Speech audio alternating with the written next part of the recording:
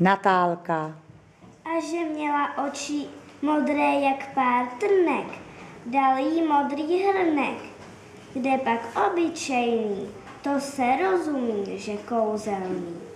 Stačí mu poručit hrnečku vař a navaří ti kaše, kolik hrdlo ráčí.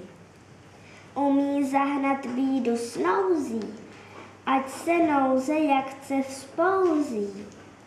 A když bude navařeno, nezapomeň říci hrnečku dost.